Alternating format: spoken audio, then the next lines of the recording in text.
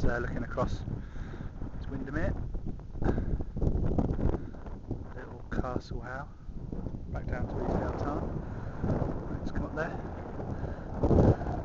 There's uh, lunch stop. Good work.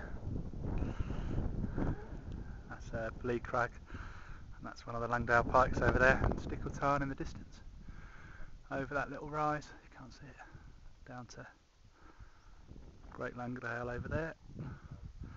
Round again.